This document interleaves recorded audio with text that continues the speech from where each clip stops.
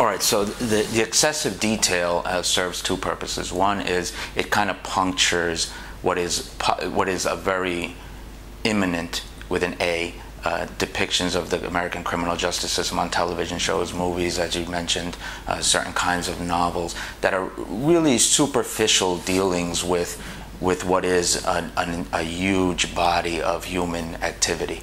So the the detail that you're referring to kind of punctures that a bit and saying, oh, so you're interested in the legal system. Let's see if you really are interested in the legal system. I'm going to bore you with the minutia of what it really is. So yeah, I did kind of uh, get a kind of subversive thrill out of saying subverting these notions of the criminal justice system somehow being converted into mere entertainment.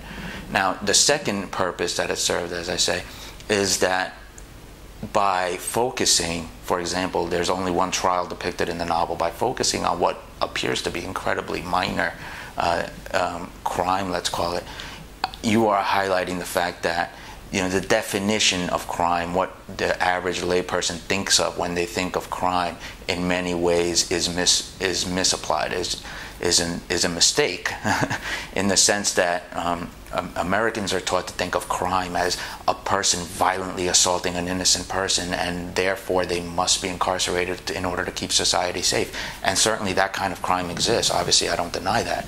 And obviously, what should happen to somebody who acts violently towards their fellow citizens is an important concern.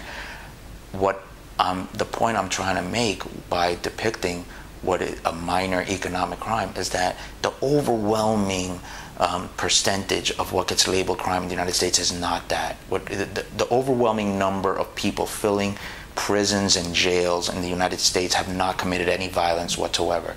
Um, they have essentially committed either purely uh, minor economic crimes, as you're referring to, or they've somehow been caught up in what, what we earlier referenced as this war on drugs, essentially engaging in behavior that, har- if it harms anyone, harms themselves principally and mainly. So uh, the the excessive detail, the the focusing on these minor things, I think a gives you a more accurate picture of what's really going on, and b yeah, it does subversively, as you say, uh, puncture a hole, God willing, in this mass entertainment bull that's been perpetuated for decades at this point.